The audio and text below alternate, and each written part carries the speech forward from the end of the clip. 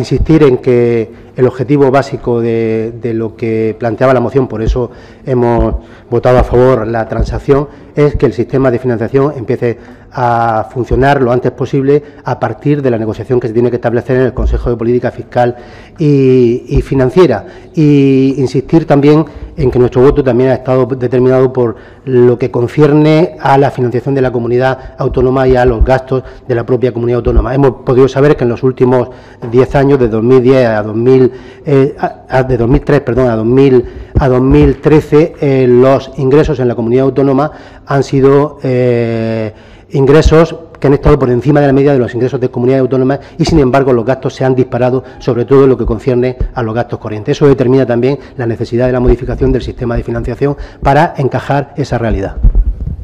Gracias, señor Navarro. Señor.